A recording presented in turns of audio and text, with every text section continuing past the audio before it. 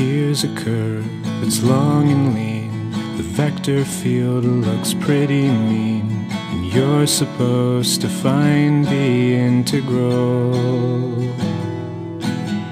Well, listen up, it's Joseph Breen singing songs in quarantine. I'm here to help, so grab a new pencil. I know you're scared, but take my hand. I'm with you through and through. Here's what we'll do. Take the curve, parameterize. Don't feel bad if it takes three tries. Make sure that you pick a T domain.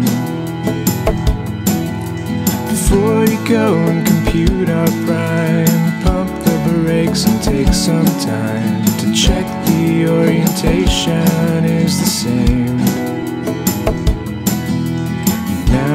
time to integrate. Check your work, don't make mistakes. And after that, just algebra remains.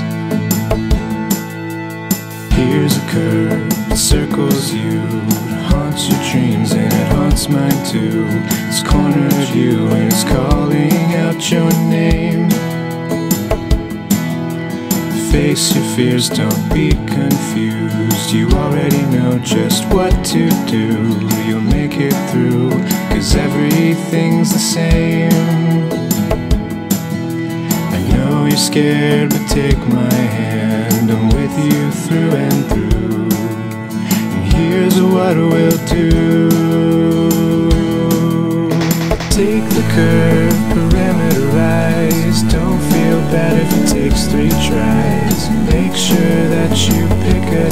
Domain.